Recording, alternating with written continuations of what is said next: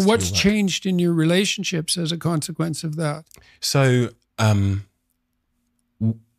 I I believe it's really difficult to truly connect some, with someone if you're not b- speaking and being your truth.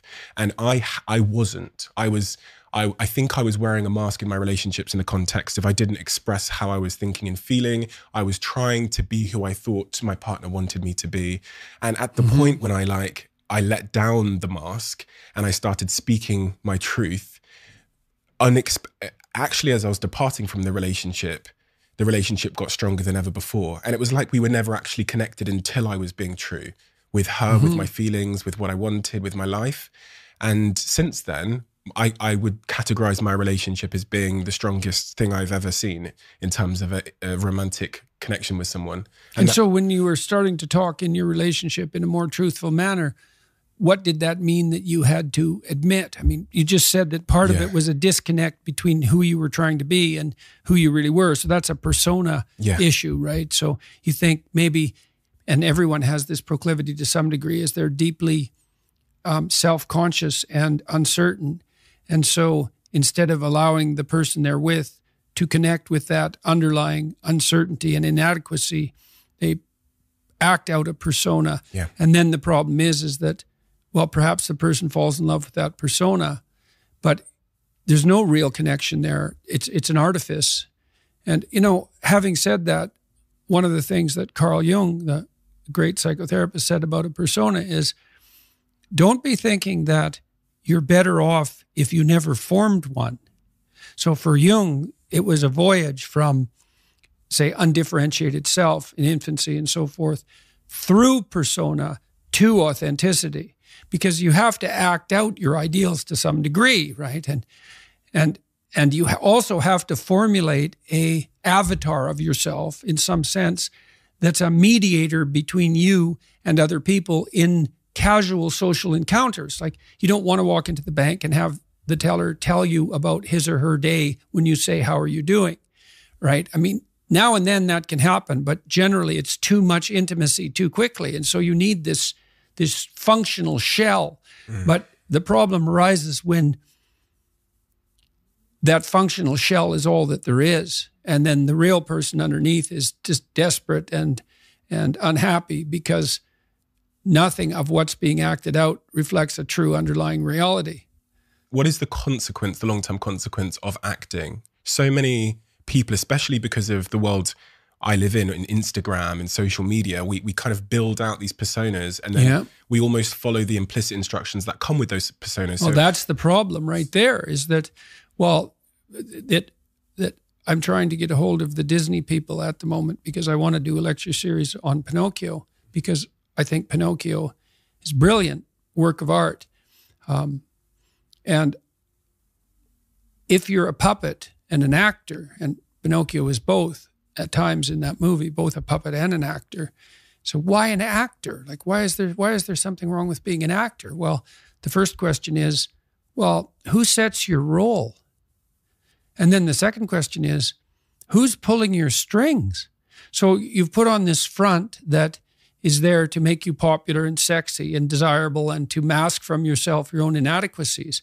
But that's a role. Well, who wrote it and for what purpose?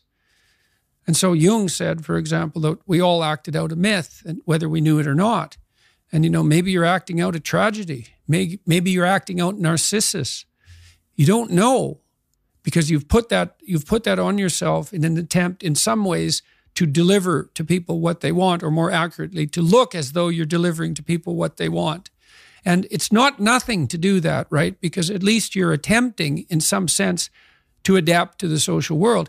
Someone who's really infantile and dependent, someone who's never left home, part of their problem is that they haven't crafted a persona. So you don't want to denigrate it entirely, but it's no substitute for the real thing. And it turns out that not only is what we want from each other the real thing, but that's also the adventure of your life. And so if you aren't truthful, and that means, unfortunately, especially at the beginning, when you start to be truthful, it means deeply coming to terms with your inadequacies in humility. So it's very painful. Without that, you don't have the adventure of your life. You have the role that has been, that you've acquiesced to. And that'll take all the meaning out of your life. The adventure of your life. You say, imagine who you could be, and then aim single mindedly at that. Mm-hmm. Um, I encounter these young people who appear to know who they could be, or they, they've imagined who they could be, but for whatever reason, they seem to choose the certain misery of their current situation, the job that's sucking their soul out, or that relationship, um, over the uncertainty they'll encounter as they go on the adventure of their life. So, what would I say to these young people who always say to me, Steve, I, I want to do this, but you can see them stifled by fear because it's like, yeah, well, it's like make a plan, man. It's so when I was doing my clinical work, uh, which I, I did a lot of career work with my clients, both at a beginner level, I would say, like really a beginner level with people who had no employment whatsoever, no history of employment, who were undereducated and who lacked every skill you could possibly imagine. So these were people who were really in dire straits, up to people who were operating at the top of their profession, but who could still strategize forward. And so, for example, let's say you're at a dead end in your job Okay, so I don't find my work meaningful. All right, so that's a problem statement. It's like, well, why not? I find the work I do repetitive and boring and without spirit. I have a bad relationship or a neutral relationship with my boss who doesn't know who I am. Um, I have problems with coworkers. All of that needs to be differentiated, right, and analyzed in detail. So we might say, for example, let's say you believe that you're undervalued at work, and maybe you are. What you need to do is you have something to say. And we would have to figure out what it is that you have to say. But it would be some variant of I'm bringing more value to the table than I'm being compensated for. And that's demoralizing me. And it's also not good for you, you being my boss, because if I'm actually more valuable than is being recognized, then the fact that you're not valuing me properly means that I will become demoralized. I won't work properly and you won't get the best out of me. So it's bad for both of us. And if your boss is in principle not amenable to such a discussion, then what you should seriously consider doing is finding another job. Okay, so let's say we're going to set you up for this. Okay, this isn't like next week's enterprise, man. This is your life. So the first thing I would ask is, well, do you have your resume or CV in order? Well, I haven't typed it up for three years. Well, what do you think about bringing it up? Well, I'm pretty nervous about that because there's some holes in it. And, you know, I didn't do so well in college and I'm kind of embarrassed about my resume. It's like, okay, bring it in. Let's go through it. Let's, let's, let's at least update it. Let's look where the holes are. Let's look at where the inadequacies are as far as you're concerned, right? This isn't my judgment, it's your judgment. Let's walk through those judgments and see if they're warranted because maybe you're just too guilty and ashamed and self-conscious and anxious and you're not you're looking at your resume more critically than someone else would. And maybe there's some holes that you need to rectify. You know you're you're at you you were two courses away from your BA and you dropped out or something like that. Well maybe we need 6 months to address that. And at least even if you can't be fully educated you could be taking some courses online. And so when you went to a new job interview and they said what about this hole? You'd say, well, I, I came to terms with that six months ago, and in an effort to rectify it, I'm taking the following courses, and here's my plan for completion. That's a really good answer. And anyone with any sense who's interviewing will accept that as an indication that although you're not perfect, and who is, that you have a good plan and that you've thought it through. Like that's the kind of answer that, in all likelihood, will cement your candidacy for the position. Okay, so now you're going to go to your boss. Well, you have to have your CV and your resume in order, and you have to be able to stand on it solidly, and which at least means that you're prepared to address the inadequacies in a credible, realistic, believable, and truthful manner. All right, now what you do is apply for like 10 jobs. You don't have to take them. But maybe you have to go to an interview or two or three or four. And maybe there's a bunch of opportunities out there for you that you didn't even know about. And maybe someone offers you a job. And so now, now you can go to your boss and say, here's the situation I'm in here at work. Um, here's my evaluation of the problems in relationship to me. Here's what I could do for you if you gave me a 40% raise and the opportunity to progress, but I'd like to see a plan for that. And um, I've been looking for other opportunities before conducting this discussion, and I have some. Hmm. Well, then, if your boss treats you with contempt at that point and doesn't listen, then perhaps he or she is a little more narcissistic than might be optimal, and it's time to find a new job. But this isn't something you do trivially. And so when you're doubtful, say you're trapped, you ask yourself, well, why am I trapped? And that's a hard question, right? Because some of it's your own inadequacy, a lot of it. And all of the part of it that you can deal with is your own inadequacy.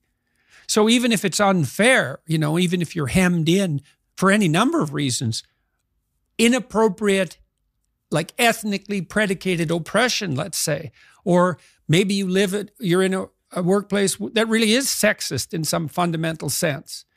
Well, that's not good. It's not just. It's not fair. It's it's not meritorious. All of those things. And maybe you shouldn't be there.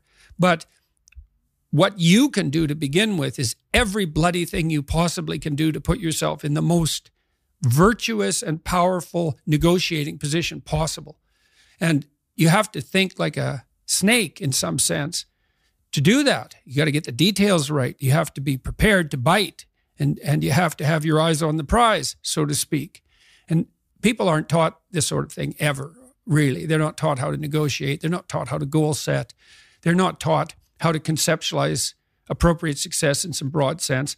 In some sense, that's what the humanities are supposed to teach people. So, on that point of understanding my inadequacies or someone's inadequacies, I, I really believe um, that it's really difficult to undergo self-development if you don't have self-awareness.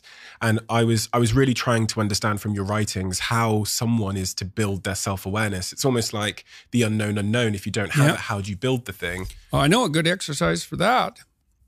It's like a prayer in some sense. In fact i would say it's proper prayer. If you want to know something about yourself sit on your bed one night and say to yourself you got to mean this. Like you got to be desperate. This is no game this.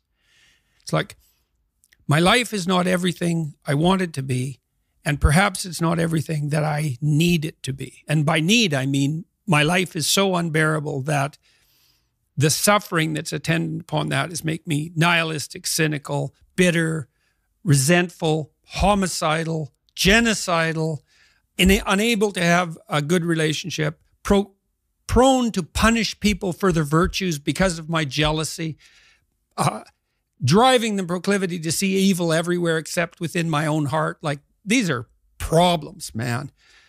And you ask yourself, you sit on the bed and say, okay, man, I'm ready to learn something. Like what what's one thing I'm doing wrong that I know I'm doing wrong that I could fix, that I would fix? It's like you meditate on that, you'll get an answer. And it won't be one you want but it'll be the necessary one. You know, and it, it's often something that will point you to small things. So Carl Jung said, people in the modern world don't see God because they don't look low enough. And so imagine you're in your messy bedroom, you know, and you're sitting on the edge of the bed trying to have an honest dialogue with yourself. And the little voice says, You know, it's pretty disgusting in here. And you think, Well, I'm way above such trivial niceties as organizing my room. It's like, well, that's pride. That's arrogance. If you're above organizing what's actually yours, how in the world are you ever going to organize anything else? And so you get on your knees and you think, well, it's time to, you know, take a brush to the toilet. And maybe that's where you start. And so, and that works. Like that works. You start making those micro improvements like real micro improvements, real on the ground, actual micro improvements to things you know that are wrong, you'll improve unbelievably rapidly. What you're talking about there sounds to me a lot like um, an overdose of arrogance and also the need for humility. Do you think the mm-hmm. Western world suffers from arrogance because of our our, our relative um, privilege and luxury that we kind of overlook. Of course, well, that's a temptation, right? I mean, when the when the left radical lefty types go after people for their unearned privilege, they have a point. Now, the point is, the existentialists called it thrownness, which is enough that's a Heideggerian term. And thrownness is the fact that we kind of experience life as if we're tossed into it, thrown into it. You know, you're you're male and not female. You're you're Hindu and not Christian. You're tall and not short. You have an arbitrary range of talents and an arbitrary range of limitations, none of which, in some sense, you chose. It's the cards you're dealt. Now, some of those are cards of privilege. You know, maybe you're born intelligent. Maybe you're born symmetrical. Maybe you're born healthy. Um, maybe you're born into a culture where it's much easier not to be absolutely deprived. Maybe your parents are rich. And so all of that, in some sense, is unearned. Now, along with that comes a good dose of existential guilt, because at the same time, and this is true for anyone, regardless of their cultural background, the ground we walk on is soaked in the blood of historical atrocity.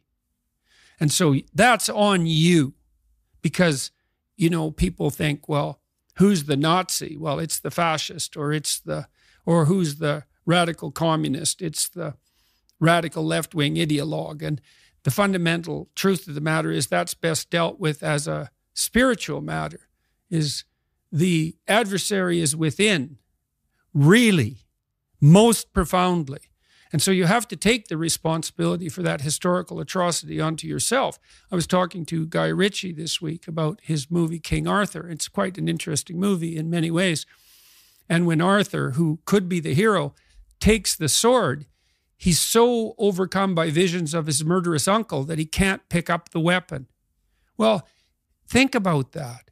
Now, you have weapons at your disposal, but they've been used by your murderous uncle. How dare you wield them?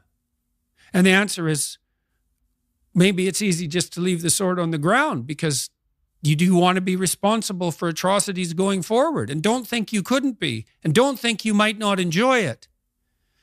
And so the way you pay for your privilege is with your virtue. I mean that most particularly. You have these opportunities and this existential guilt and the way you expiate that and atone is by doing your best to live the best possible life you can manage, to speak the truth, to treat people with respect, to abide by the principles of the dignity of the individual, and to put your house in order. And that's how you pay for your unearned privilege. All of us. And we all have our privileges and our and our curses, you know. All of us have that. That's why it's not useful to be envious of people you know, you see some, you're a young man, you see someone drive by in a Ferrari with a blonde, and you think, my God, he's got everything. And, you know, the woman in the car is a prostitute who's got a cocaine addiction, and her, her life is just one catastrophe after another. And he's had to lie and cheat his way into this position. And he's afraid that everything's going to come crashing down on him. And that's what you're jealous of. And it's just not that profound. You don't want someone else's fate. Man, your fate's enough and your adventure's enough. It's plenty. It's more than you can ever fully realize. And so that's also part of the reason that we all believe that the individual has some intrinsic dignity. It's don't be so sure that your position and your room is so damn trivial. It might be your attitude towards it that's trivial. And if you're in dire straits and dire circumstances, just look at how much opportunity you have to make things better. So not that it's easy. I, you don't even want it to be easy. You know, so. On that point of you, you don't want it to be easy, I've really contended with this idea of struggle and chaos in my life and the role it plays. And once upon a time, I thought I was trying to rid my life of chaos and struggle. Mm-hmm. I thought that's why I was trying to get rich and get the Ferrari mm-hmm. and the blonde. I thought that would create mm-hmm. a life um, free of free of struggle. But then I looked at some studies and I saw, heard about this thing called gold medal depression when Olympians come back from the Olympics and they've lost orientation. And then the day when someone offered to buy my company for a eight, nine, no, nine figure number, and it filled me with this emptiness and this dread. And I and yeah. I and I tried to understand the role that struggle would would would have to play for me to be a fulfilled human being for the rest of my life. Um, yeah, well, that the, the observation with regard to your company that's a that's a great observation. I mean, we're built to walk uphill, and when you reach the pinnacle of the hill, you want to stop and appreciate the vision. But the next thing you want is a higher hill in the distance because it's the uphill climb that it's it's from the uphill climb that we derive our value and i mean this technically so almost all the positive emotion we feel especially the the the the emotion that fills us with enthusiasm and that's to be filled with the spirit of god by the way because that's what enthusiasm means that's experienced in relationship to a goal and so, in some sense, and this is part of the religious enterprise, you want a goal that you can never attain, right? So you can always move closer to the goal that recedes as you move towards it. You think, well, that's frustrating. It's like Sisyphus pushing the rock uphill. But it's not because as you pursue that goal, you put yourself together and your life does get better and richer and more abundant. And that's why the highest levels of virtue and goal are, in some sense, transcendent you want them to be above everything you're doing so you can continually move towards something that's more sublime and better. That's what you are. You're, you're here to live, not to, not to sleep. And the problem with the vision of Mai Tais on the beach is that, well, first of all, that's an envision, that's a vision of, of drug induced unconsciousness. Second, it's only going to work for about a week. Third, you're going to be a laughing stock in a month and depressed and aimless and, and goalless. It's no, that's not. It's it's you want a horizon of ever expanding possibility, and so it does happen to people as they because they've staked their soul on the attainment of an instrumental goal, and it, it can be a pretty high order goal. It was in your case, but then you think, well, I've now I'm there. Now what? Well, the answer can't be, well, I'm going to live in the lap of luxury and never have to leave the. Fa-. What do you want to be? A giant infant with a gold with a gold bottle. You never have to do anything but lay in your back and suck. It's like, well, you see the problem with that as a as a as a conceptualization. It's no, you want to be like an active warrior moving uphill with your sword in hand, and that's that's dynamic. That's exciting, and that's why so many young men disappear into video games. It's that's all acted out in the video game. So they have to act that out in their own life. Not that I despise video games, because I don't, but they're not a substitute for life. They might be good training under some conditions for life. So, one of the things I was also really, really keen to ask you was about the, the, the what's happened in the world over the last two years. One of the shifts we've seen in the business world is this move to remote working, and I hate it. And I hate it for a variety of reasons because I feel like there's very few institutions in in our in my life where I have a chance to meaningfully connect with with people. Dating has become screens, socializing has become screens. And the office, the institution of the office in my life was one of the places, especially as a younger man, where I got to meet pretty much 90% of my current best friends and also mm, partners. And, and I really worry about um, sitting behind a, a Zoom uh, doing my work um, for for the re- for the next ten years. What is your take on remote working? Well, I like it and I don't like it.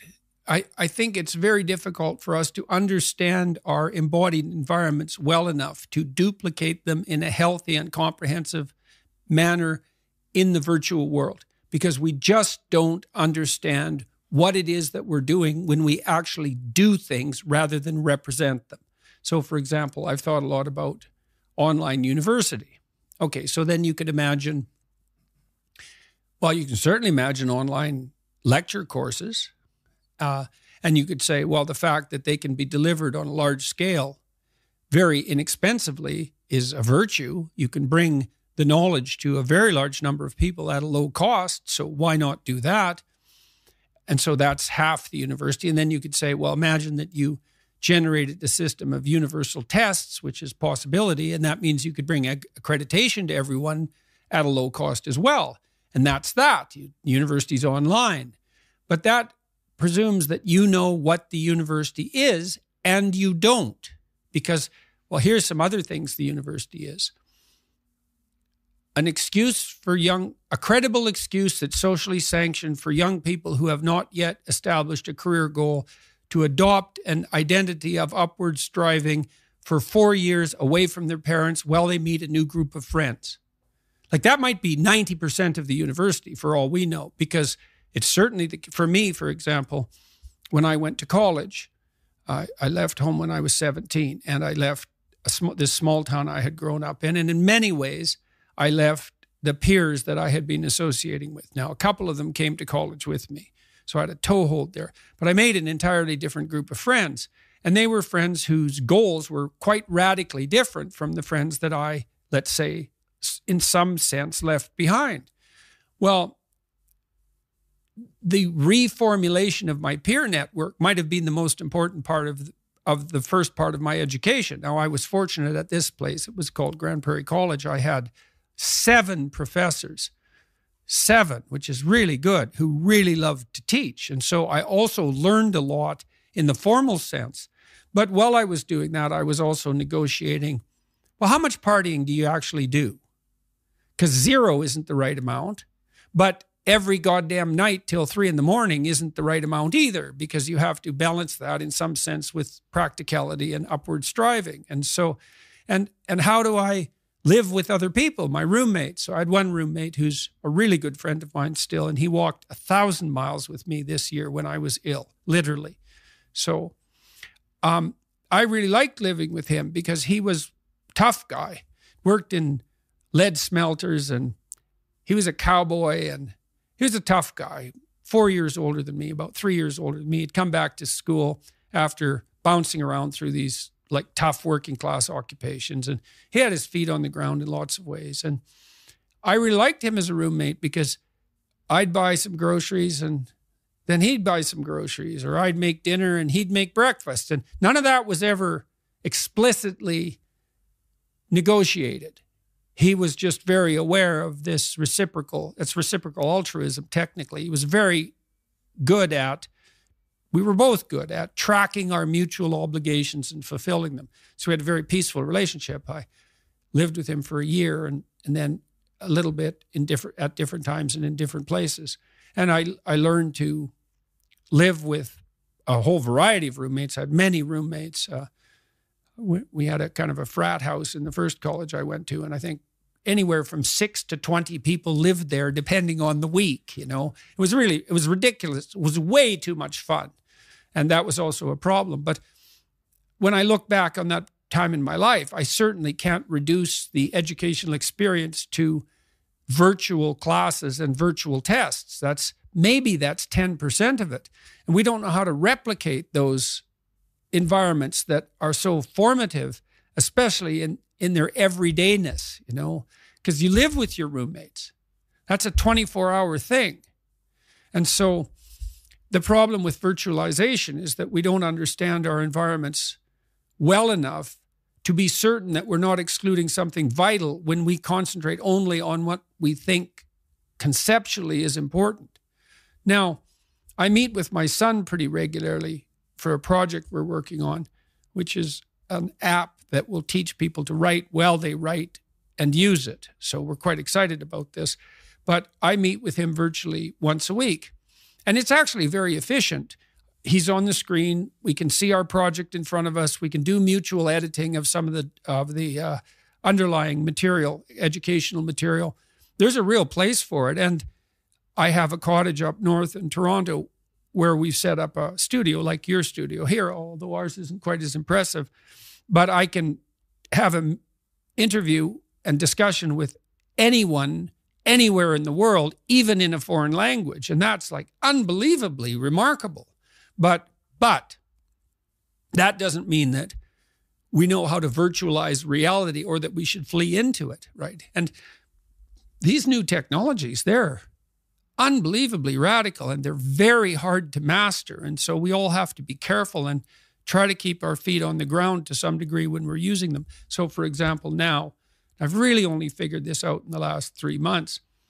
I get up and I, I do a series of exercises that my wife taught me that are based in the Kundalini yoga tradition. That's real helpful. Flexibility and breathing exercises. That reduces my anxiety during the day, I would say about 25%. And then I try to reserve some time either for writing or I'm working on a number of artistic projects. And so I'm going to do one or, or those for a couple hours in the morning and then maybe a walk or something with my wife and breakfast. I have breakfast during all this. And then I can turn to the sort of connected world, email and the podcasts and so forth. And so there's this balance between privacy, introverted privacy, let's say, and disconnect from everyone except for my wife, and then uh, contemplated reconnection with the virtual world. That seems to be working out pretty well. And you want to get a balance of that that's actually, to use a terrible cliche, sustainable, right? So you want to hit your projects hard, but you have to leave in that not with entertainment, but with culture, because those are not the same thing. Um, entertainment is an approximation to culture. And you need to leave in that with culture, that's beauty and drama and art and all of that. And then with intimate relationships and friendships. And well, it's very difficult to get the balance of all that correct. And it's very difficult to do that virtually. So, hmm. but I certainly wouldn't forego the technology, and neither would the rest of us. It's like people complain about their phones, but they carry them with them everywhere they go. And I'm not cynical about that. The phone, it's not a phone. God only knows what it is, but it's definitely not a phone.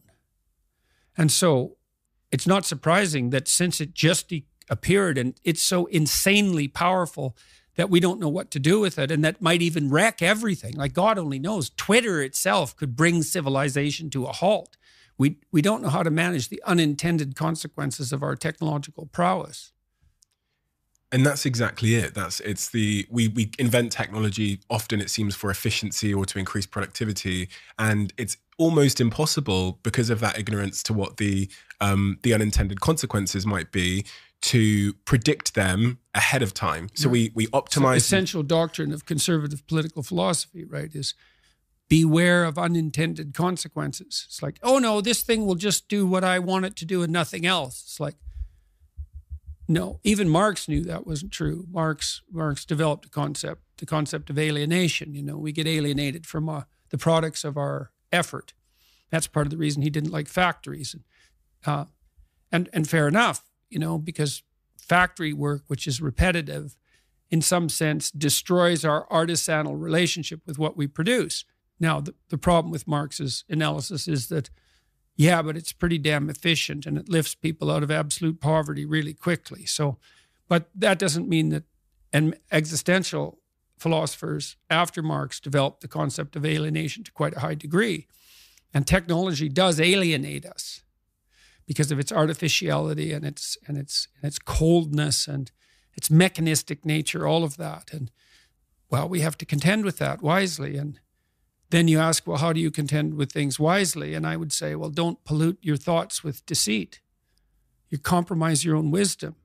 How are you going to make intelligent, not intelligent decisions, wise decisions? That's why you shouldn't lie. It's like you're warping the mechanism that orients you in the world. Do you really want to do that? This is a brutal world, man. And I've seen this in my clinical practice people whose houses are built on foundations of sand and the wind starts to blow and the floods start to rise and they are in such trouble such trouble if you're lucky and something terrible comes your way and you're reasonably honest and your relationships are in good order maybe you won't end up in hell and and I mean hell I don't mean death there's lots of situations you can get yourself in where death would be far preferable to what you're going through. So you you need to be afraid of that. It's like, don't lie. I in my clinical practice in 20 years, working with every sort of person you could imagine, I never ever saw anyone get away with anything even once. So yeah, we're all subject, not least to the judgment of our own conscience. Try to escape from that.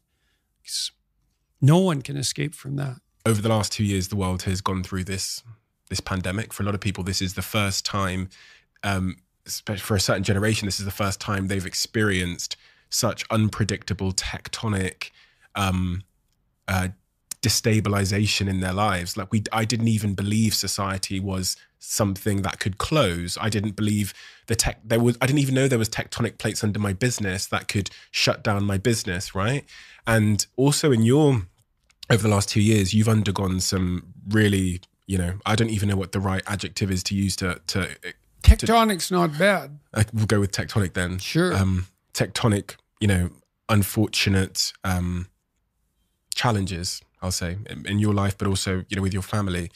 What are the lessons we learn from the, the pandemic and from that type of tectonic suffering about what actually matters in our lives? Well, we'll see with regard to the pandemic because although in some sense it is in some ways over, our reaction to it is by no means over.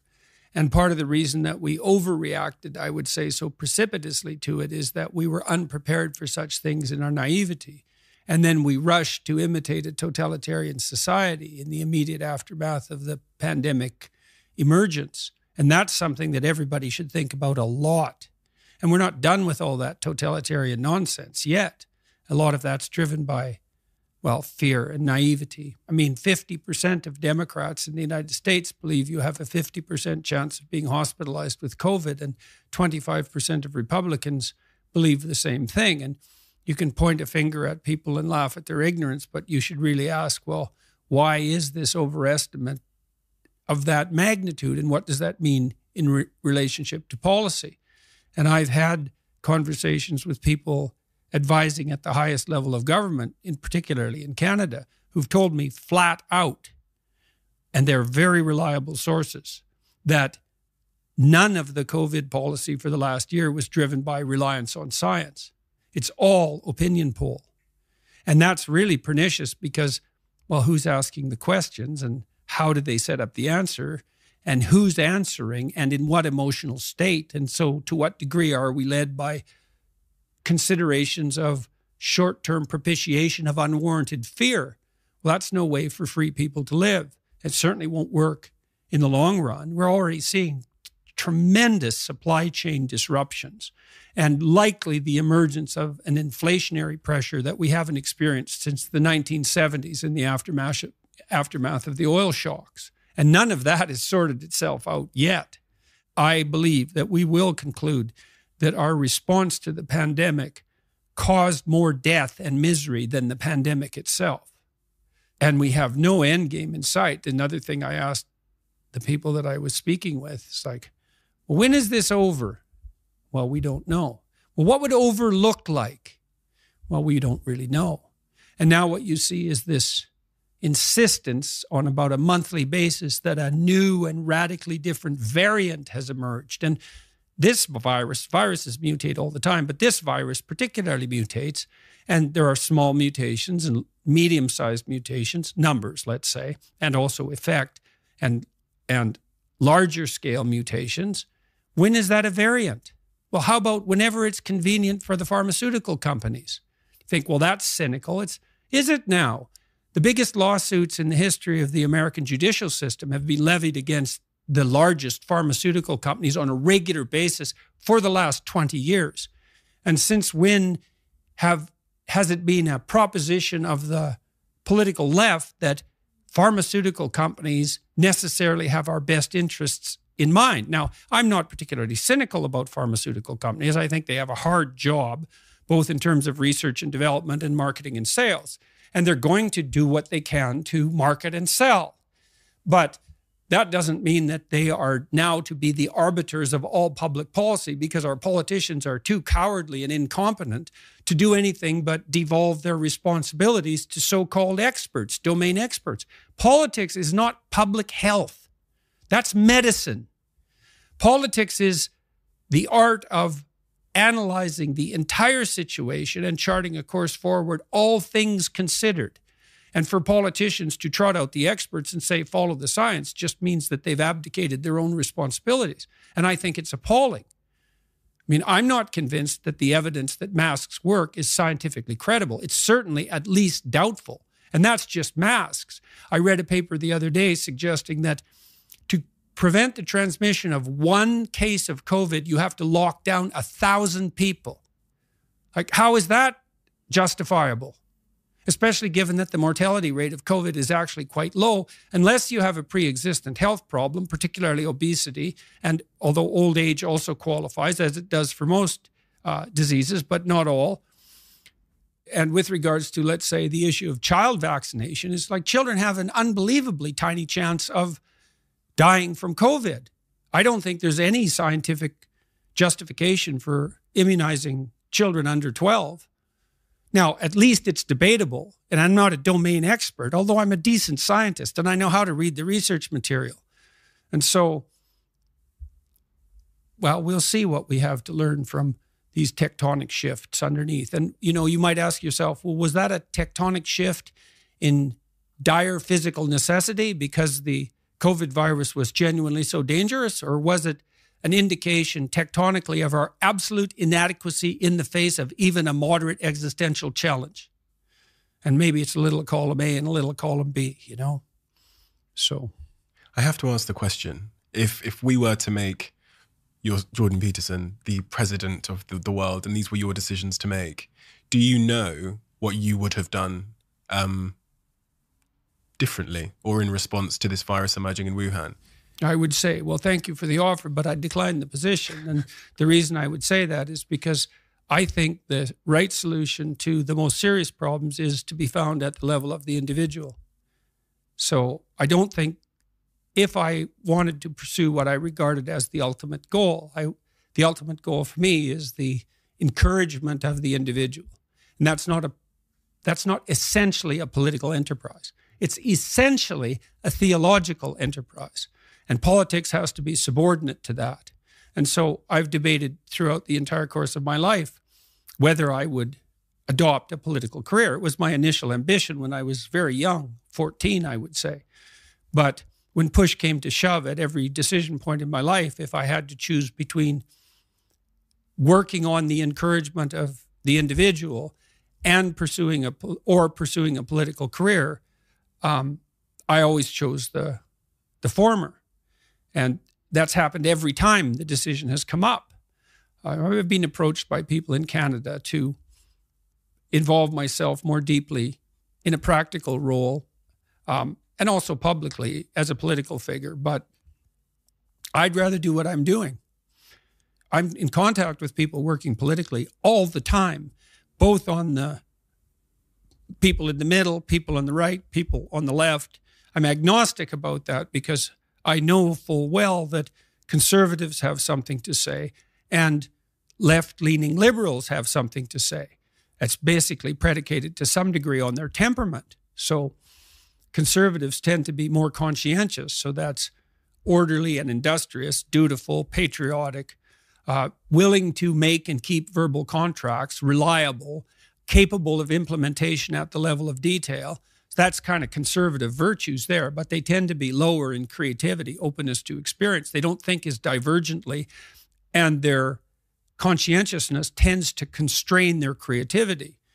Whereas the liberal types, they're high in openness to experience. That's the creativity dimension, but they tend to be lower in conscientiousness, particularly orderliness. And so, what that means is those with a liberal temperament tend to be creative slash entrepreneurs, and those with a conservative temperament tend to be managerial and administrative. That doesn't mean they can't run businesses. Well, you want a conservative person to run your business. You might want a more liberal person to pepper you with off the wall ideas, you know. And then if you're going to run an enterprise, business, or a society, there has to be a continual dialogue between people of different temperaments so that we can keep the ship of state, let's say, tracking to an ever moving destination.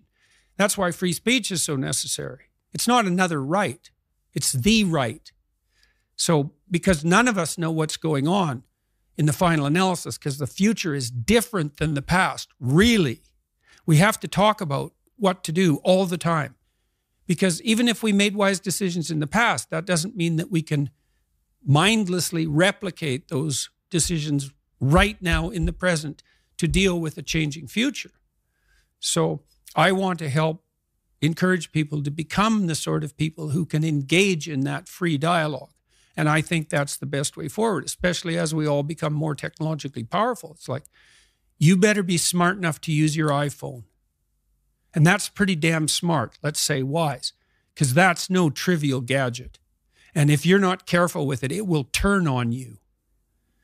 It will build authoritarian presumptions into our artificial intelligence systems, for example, and then look the hell out. So if you're going to have a hydrogen bomb, you better be wise enough to wield it. On on that point of the encouragement of the individual, we all have people in our lives that we want to encourage. We hope. Yeah, we hope, right? And um, we sometimes fall foul of trying to force our own bias, our own intention for them on them. What is the best way? If I've got a friend in my life or a, or a you know partner that I want to encourage to mm-hmm. come out of their place of despair into a better place, how do I effectively do that without overpowering them or stifling them or making them feel inadequate, which is sometimes the consequence of trying to change someone you love? Mm-hmm. Well, example's good. Mm-hmm. But then I would say disabuse yourself of the notion that you know what is best for this person. You don't, not only do you not know, you actually don't want that responsibility for two reasons. Let's say they do what you say and something good happens to them. Well, whose victory is that? Yours or theirs? And if it's yours, did you just steal it? And then let's say they fail following your advice. Well, they pay the price for that. And you can skip away merrily and say, well, I should have spoke more carefully. It's like you don't mess about with people's destiny. You do not know where they're headed. Now, having said that, you do what you're doing in this interview, in this podcast. You ask people questions, real questions, you know, like, how are you feeling? Oh, I'm not doing so good today. Well, you know, what's up? What's going on? And you can't think, well, I'm going to ask questions to lead this person in a particular direction because that's the same game, the same instrumental game. You have to see what it is that you want to know. I see this when people ask me questions after my lectures, you know. Now, now and then, or during a Q&A, now and then people get up and they'll ask a real question. It's part of the ongoing dialogue. Something struck them. They stand up. There's something they really want to know. It's an honest question. And that goes real well. But not infrequently, someone stands up with a little prepared speech that's packaged as a question. So I get this from Christian traditionalists fairly frequently. They get up and they ask me about my religious convictions, but really what they want to do is corner me into admitting that I should accept Jesus Christ as my Savior and, and join a particular, let's say, uh, um, denomination. It's not a question, it's just a manipulation. And so your questions, like your statements, your questions should be honest. And if you ask people questions and you really listen, they will untangle themselves. And that's partly why people love to be attended to, you know? Like, if I meet people on the street, you know, I ask them their name. They're all usually flustered when they come up to me. They don't really want to interrupt me, and then they're flustered. And the first thing I do is shake their hand and ask them their name. And I listen, you know not that good at remembering names, but I listen to it. And, and they know how to say their name. And so it kind of settles them down. And then it sort of marks them out as a person against the background, eh? And then if I pay attention to them and listen, they will tell me something in like 10 seconds that I need to know. Because they're they have something to say, you know? And then if you listen, people tell you what they have to say, and then you get wise because you collect all that. And so you want to help someone. Well, first of all, you decide that you're aiming towards help, right? And and that you do that in the spirit of ignorance. This is what every good clinician learns is I don't know where you're headed. I don't know what's wrong with you. This is a hard problem, man. It's like, what's your problem? I don't know what your problem is. So let's find that out first. And then let's find out one thing you can ask people. This is actually useful in an argument with someone you love. They're they're upset with you. What are your preconditions for satisfaction? Now, I wouldn't state it like that. It's like, if I could give you what you wanted right now in the context of this argument, and I wasn't doing it in a manipulative way, what is it that I would have to say or do that would, in principle, satisfy you? And that's a hard question, you know. And the person might say, "Well, I think you should apologize and about this," and you know, and, I, and then I will say, "What words should I use?" And they'll say, well, if you loved me, you'd know. And I would say, no, I'm stupid and ignorant, and I don't know what the right words are to satisfy you. So why don't you give me a hand with that and I'll utter them inelegantly and awkwardly in a good faith demonstration of my commitment to peace. And that won't be so good because maybe it would have been better if I came up with it myself, but maybe next time I can do slightly better. And that works. It, it requires the person who's after you to think through the question, even of whether there's anything that could be said or done that would satisfy them. And if the answer to that is no, well, probably the relationship is over. But certainly, the person that they're accusing has been put in an absolutely impossible position. But usually, almost inevitably, if the person meditates on it for a bit, there is something that would satisfy them that can be negotiated as long as they're willing to give you the opportunity to do it, you know, stupidly and badly. So, listening, man. Jimmy Carr, I talked to Jimmy Carr two weeks ago, the oh, famous really? comedian. Yeah, he was, it was real interesting. Um, he said comedy is the most dialogical of of the entertainment forms, and I thought, well, what do you mean by that? Because you're just it's a monologue, right? Now I do monologues, but I pay attention to the audience, right? I'm always talking to individual people in the audience and watching their reactions and listening to the audience as a whole. So even though it's a lecture, let's say, or a talk, I'm watching the audience and responding. So we're in a kind of dance. Well, Carr pointed out that comedians, before they hit the road, and this is virtually in, invariably the case, they have their new routines. So their their their corpus of potentially funny jokes, and then they do 200 shows in front of small audiences, and the audience either laughs or doesn't. And if you're listening, you collect all the jokes that people laugh at. If you do that 200 times, you have nothing but hilarious material. But you listened. And then you can go out on the road. And that was very interesting to me because humor is a mysterious phenomenon, experientially and conceptually. And it's sort of precognitive and instinctual, but it's also extremely sophisticated. And there's an element of transcendence about it, right? Because you can laugh at yourself. And that's in some sense the highest form of humor. And so it's so interesting that we can criticize and elevate ourselves at the same time and that we find that intensely pleasurable. And so a good comedian collects ways to do that, shares them with the audience, and he's listening. And so if you want to help someone, the best way to help someone is not to give them advice, but to listen to them. So I had a guest actually come on this podcast before Jimmy Carr. Jimmy Carr was on two weeks ago, and we had a great conversation about um, happiness and the nature of happiness. And the guest before Jimmy Carr wrote in my diary, which is a tradition we have now, where all the guests that come on write a question for the next guest. So there is a hmm. question there for you. But the guest wrote a question um, which changed his life, which is, um, "Are you happy?" And I, from reading your work and understanding your position on happiness and it not being the thing to aim for, which really struck me because I thought, you know, the, I thought life was the north star of our lives was to try and be happy. Mm-hmm. I guess my question is, what I was going to ask you that question. Aim in, to be good and pray for happiness. So the question I was going to is pretty much that is what is a better question for me to mm-hmm. ask mm-hmm. you if I'm checking in on you because we ask that question with good intentions. Mm-hmm. Are you happy? What's a better question for me to ask Jordan Peterson? How are you doing? How are you doing? Hmm? How are you doing? Brilliantly and terribly. You know, when you listen to a profound piece of music,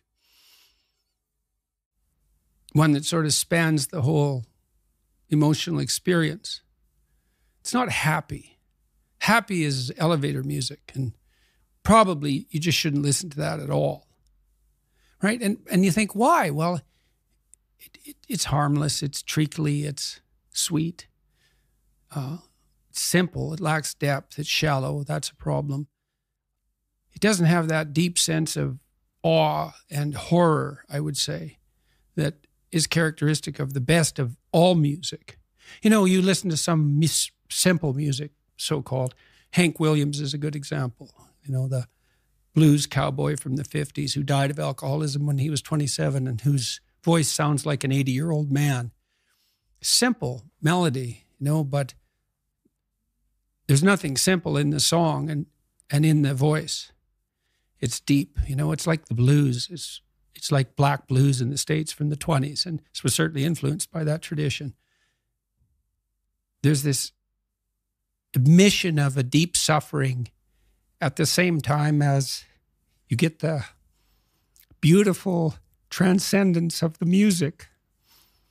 And that's meaning, you know, that's awful in the most fundamental sense, but you need an antidote to suffering and it has to be deep. And you know, deep moves you tectonically and it's not a trivial thing. And but that's better than happiness. And maybe if you're lucky while you're pursuing that and while you're immersed in it, you get to be happy and and you should fall on your knees and be grateful for that when it happens. You know, it's a gift. It really is a gift. And it comes upon you unexpectedly, your happiness, you know. But you aim to climb uphill to the highest peak you can possibly envision. And that's that's better than happiness. Why did you include terribly? Well, for example, now when I go wherever I go in the world, people come up to me and they're usually, I wouldn't say they're happy to see me. They're often in tears, you know, and they often have a pretty rough story to relate. You know, they were suicidal or nihilistic or homicidal or trapped, desperate, you know, and they tell me that real fast. And then they say, I've overcome that to a large degree, and thank you for that. And and you think, well, that's really something to have that happen over and over. In some ways, you might think, well, how could anything better possibly happen to you than to have people come up to you all over the world, strangers, and open themselves up like that, like they're old friends so quickly? But at the same time, it's an awful thing because you see even in the revelation of their triumph, the initial depth of their despair.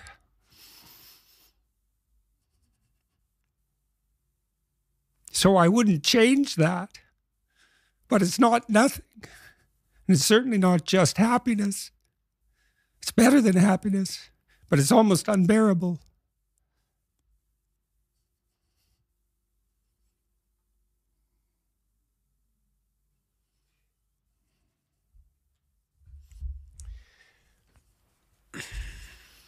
God, tears again. it's been quite a two weeks in the UK. It's been amazing. It's been amazing. Such a great country, this country.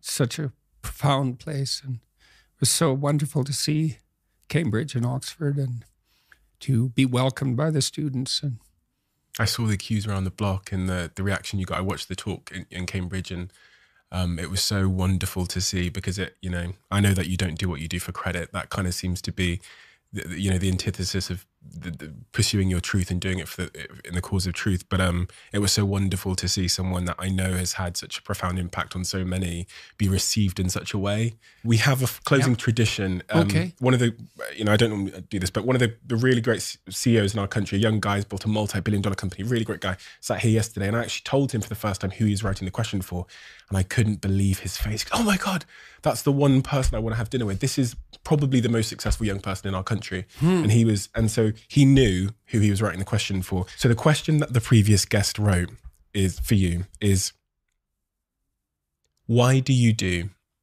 what you do? To see what will happen. Some programs you you cannot predict, right? You cannot predict how they're going to end. You have to run them. Well, you know, I believe that truth will save the world. I believe that. So you speak truthfully and you watch what happens and you take your consequences. You know, and maybe you hope and have some faith that in the final analysis, things will work out in your favor. But perhaps they will and perhaps they won't. But that's faith, eh? That's faith. It's faith isn't believing in things you regard as ridiculous, sacrificing your intellect. It's a decision, you know? Will truth, beauty, and love save the world? Well, you can find out. Thank you doesn't seem to quite cut it for the impact you've had even on me and also for giving me your time. I know you understand the tremendous value of time. I've I've seen it so much in your work. So I'm going to say thank you, but I'm also going to make a commitment to do something which I think is more important, which is just to be truthful. And I think with the platform I have and the years I have ahead of me, maybe that's the greatest good that I can do to the world. So because you've come here, that's a pledge and a commitment I want to make to you as my highest form of thanks that I can give in a karmic way. Hopefully that will make the world a better place for for everybody. Well, at um, least it will help ensure that you won't make the world a worse place. Thank you so much. Thank you. For everything.